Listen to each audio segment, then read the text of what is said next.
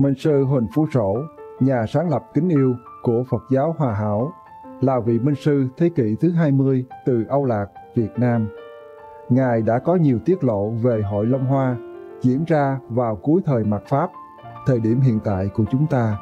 Vì lòng từ ái chứa chan, thương bách tính tới hồi tái họa, Phật Vương đã chỉ rõ mái diệu huyền chuyển lập hội Long Hoa, chọn những đấng tu hành cao công quả để ban cho xứng vị xứng ngôi người đủ các thiện căn để giáo truyền đại đạo định phân ngôi thứ gây cuộc hòa bình cho vạn quốc chư bang hội long hoa chọn kẻ tu mi người hiền đức đặng phò chân chúa. Ai là chân chúa? Tín đồ phật giáo hòa hảo an hữu giải thích thêm về lời tiên tri này. À, hội long hoa à, là hội à, để lập đời thượng nguồn à, sau khi à, kết thúc đời hạ quân, ngài chỉ ra rằng à, sau này sẽ có rất là nhiều tai ương à, đến với chúng sanh khắp lục châu.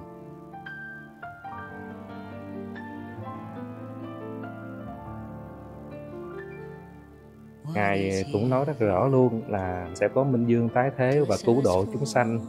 Và vị Minh Dương này à, mình gọi là Minh Sư à, sẽ xuất thân từ Việt Nam.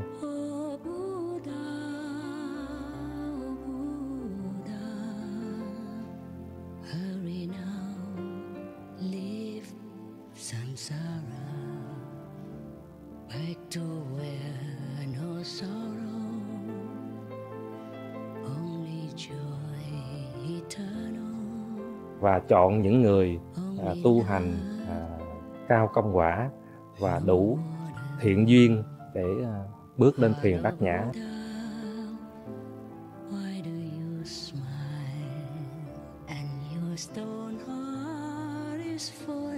Minh sư Nguyễn Thành Nam, người sáng lập đạo dừa của Âu Lạc, đã có một tiên đoán tương tự.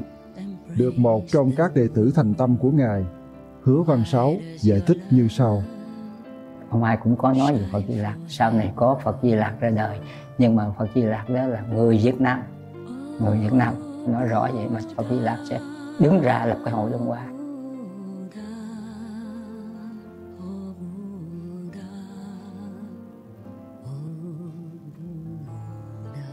Ồ, thật hào hứng và trước sau như một. Những lời tiên tri từ Âu Lạc cho chúng ta biết về đấng cứu thế đặc biệt hay Phật Di Lặc sẽ giáng trần để khai mở hội Long Hoa. Nhiều tiên đoán xác nhận qua lại rằng đấng khai ngộ này sẽ sinh ra tại Âu Lạc trong hình hài phụ nữ. Với chúng tôi, hai mẫu thông tin này rõ ràng biểu thị đấng này chỉ có thể là Ngài Thánh Hải Vô Thường Sư kính yêu. 你们看那个越南那个什么，那地图很特别，有没有？像那个道一样，有没有？有没有 S 有没有？哎， 你看那个越南的国家是唯一的那种那种形状，那边是地灵啊，很灵地，很好。嗯，师傅又生在中央越南，全部的那个全国的那那那灵地都在那边吸。好多世界的人很多那个限制哦，算命说在越南会有佛出来啊，然后有一些越南人也也也也算着知道是有一个越南有一位佛会出来，他们知道哎，他们到处去找啊。我们也认识一个，我们同学也认识一个，到处去找。哎，他后来他是他就看到师傅的书以后，他就不再找了。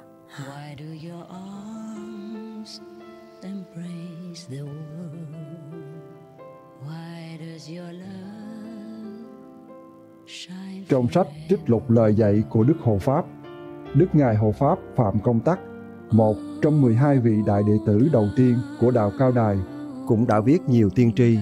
Kim Linh, một tín đồ Cao Đài đáng kính, giúp giải thích thêm một số điều như sau. Một quyển nữa là trích soạn lời dạy của Đức Hộ Pháp.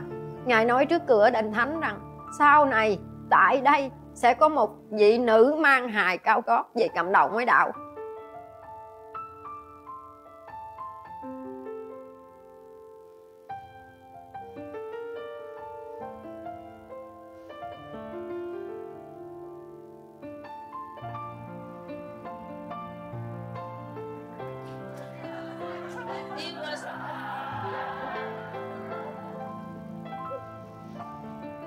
trong quyển thượng đế giảng chân lý thì thượng đế nói là sẽ có một vị nữ xuống khỏi hồng trần này để mà cứu độ thế gian. Đã đến thời kỳ mạt pháp, thời kỳ cuối cùng, cha xuống trần cha chọn một xác nữ dùng làm công cụ của cha để dìu dắt chúng con ở hồng trần này, để chúng con bừng tỉnh cơn mê trầm của cõi trần gian mà quyết định tìm về ngôi nhà vĩnh hằng, tìm về ngôi xưa chốn cũ nơi mà các con đã ra đi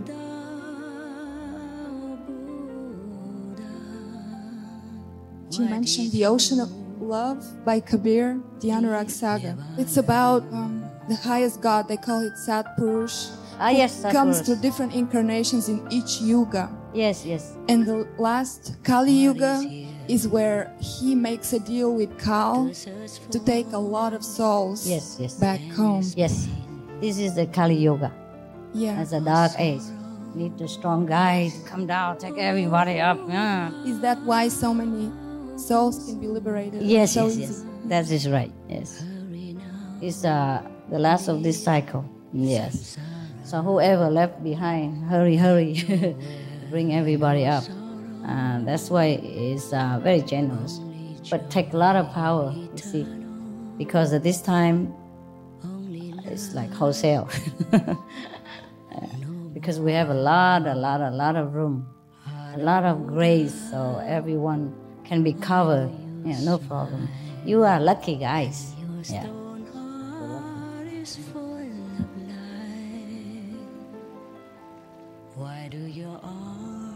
God is generous, but have never been so generous. You know, in the old time, the most would be a handful, you know, thousands of people. Can never be so many. And can never be so openly, you know, gathered together despite everything. it's, it's really lucky, you guys, lucky.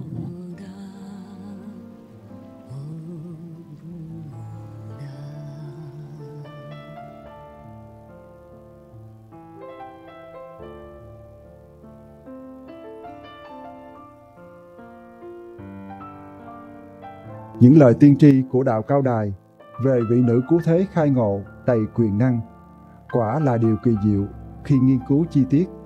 có một quyển nữa là thiên thai kiến diện do đức ngài phạm hộ pháp ngài viết diễn tả về một vị minh sư trong thời đại này Dòm quanh buồn kiếm ông già sợm Ngó mắt mừng nghe tiếng má đào Good evening, brothers, sisters, mothers, fathers. How are you? Remember Him all the time. Nothing can happen to you if you remember God. Okay?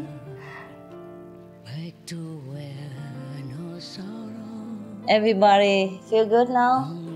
Feel better? Meditate better? Yeah, I love you. I love you very much. đa phần là tất cả mọi người ở trên thế gian này là đều cho một vị minh sư phải là một nam một nam nhân, cao, to, hay hoặc là một ông già râu tóc, phơ phơ, chứ không nghĩ là một vị minh sư sẽ là phận má đào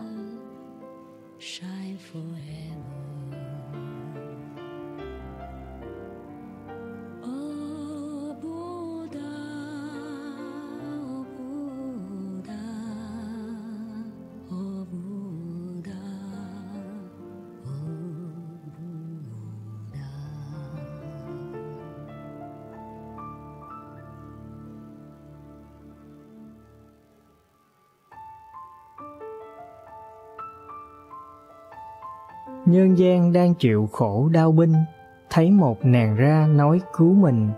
Áo kết trăm hoa thân thể đẹp Mão thừa mua ngọc mặt mày xinh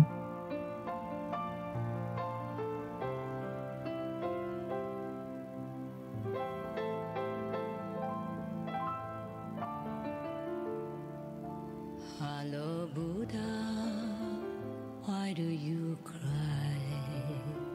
In your stone heart, how much desire? Why do your tears stream down the sea. Why give your love to the pebble?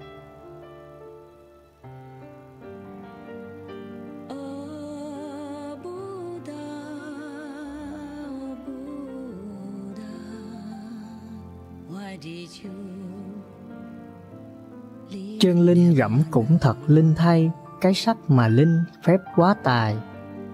Đến khi mà con ngồi thiền cũng thử nghiệm được á là cái lực lượng mà gia trì của sư phụ á à, nói ra là cái à, đất nước Thái Lan thì nó còn vẫn nằm ở trong cái thế giới này. Nhưng mà thật sự là sư phụ đã gia trì đưa lên một bậc đưa đất cái đất nước Thái Lan nếu mà trong thử nghiệm nếu mà trong cái giới á, Ừ. là đã lên trên một bậc rồi. Ừ. cái à, linh hồn của những người đó. Dạ. Ok. Mà con thấy một cái lực lượng nó mạnh lắm mạnh không thể diễn tả được. Tức là đưa cái cái cái một cả một đất nước ra khỏi cái tinh cầu này. Ừ.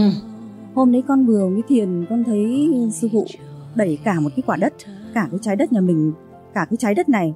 Lúc ý là con cũng không biết cái tin đấy đâu nhưng mà một mình sư phụ đẩy cái trái đất này không bị va vào cái một cái vật thể gì đấy. Và con đến khi sáng ngủ dậy thì con trai con nói mẹ ơi ờ, uh, tivi vừa mới phát là trái đất vừa mới thoát nạn. Không có thì ờ, bị va vào một cái ờ, mảnh sao. Thì lúc, lúc ấy con bảo là cái này mà người ta không thể biết được là tại sao lý do vì sao mà lại trái đất lại được được cứu như thế không biết được là sư phụ sư phụ đã làm tất cả. Lũ quỷ đến nhìn thần trí loạn Loài ma xem thấy tánh tâm say 哦，我们在美国，呃，师傅有一个美国人嘛，他是本来是专门抓魔的，他说那里魔太多，他都在那里观察很清楚，或者大家都来很惭愧啊，在那里修行啊，拜拜我在后面呢、啊，有的是恐吓他的，他怕了，他就想上去睡觉，我说好了好了，上就上了，他上去住就没有看到鬼啦， 所以我旁边没有，他说没有，只有看到佛菩萨那些真人啊，很多好光啊都来。 để trơn trên đất đen ra trắng đôi mắt nhìn người gái hóa trai to search for endless pain? để trơn lên đất đen ra trắng là khi mình chưa gặp một vị minh sư thì mình rất là tâm tối đen ra trắng nghĩa là vị minh sư thanh tịnh hóa nơi đó làm sạch từ trường phủ định đen tối.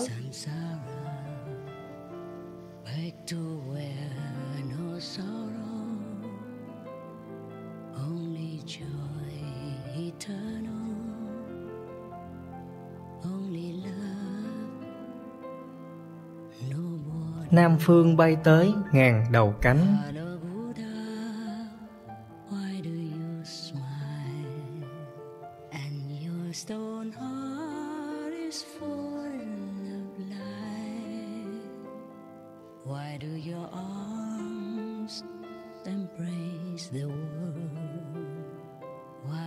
Does your love shine forever?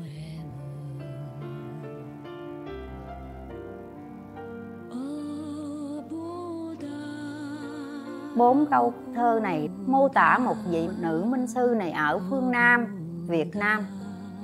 Bay tới ngàn đầu cánh thì thật là nhiều nhiều lắm. Vị minh sư này sẽ bay khắp trong hoàng vũ. Chứ đừng nói chỉ ở cái quả địa cầu này để mà phổ hóa chúng sanh Master, um, when you are here physically, is it also possible for you to come down physically in a different physical universe at the same time? Yes, Wow. yes, we can. Wow.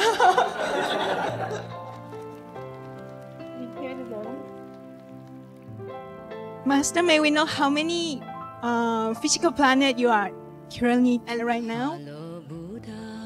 Oh, Why do you a lot, a lot. Okay, a lot. Now I'm even more than everywhere than before because my level is very, very high now. So I can string the whole universe, not just five, six, ten levels. give your love to the pebble? Tây thổ trương lên một lá cờ Tây thổ là dùng chỉ cho đất phương Tây là Tây Âu. Ngài về Tây Âu Ngài trương lên đó một lá cờ. Mà lá cờ gì? Lá cờ của Thượng Đế. Ở chính giữa cái lá cờ này có một cái biểu tượng, Đại diện cho Thượng Đế. Như vậy thì lá cờ này là lá cờ đại đồng, Là lá cờ tiêu chuẩn của quốc tế.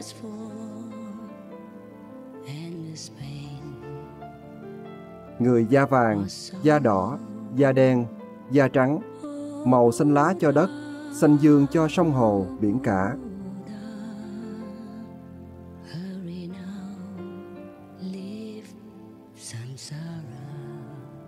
Hoàn toàn ứng nghiệm lời tiên tri, Ngài Thanh Hải Vô Thượng Sư đã du hành đến các quốc gia phương Tây, truyền bá giáo lý chân chính của tình thương và hòa bình đại đồng. Lá cờ có thể chỉ là ẩn dụ, tuy nhiên, Ngài Thanh Hải Vô Thượng Sư đã thiết kế một lá cờ tượng trưng cho tình thương và hợp nhất giữa tất cả loài người, loài vật và thiên nhiên trong tình thương của thiên đàng.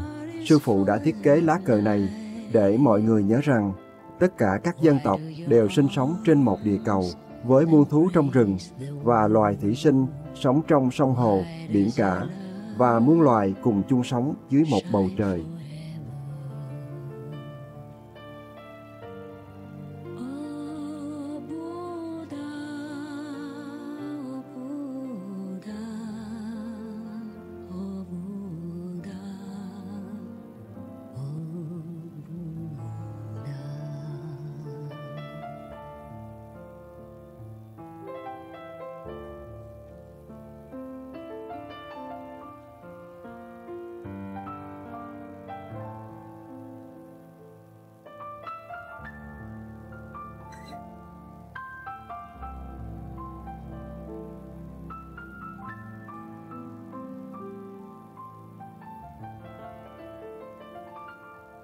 here. This is for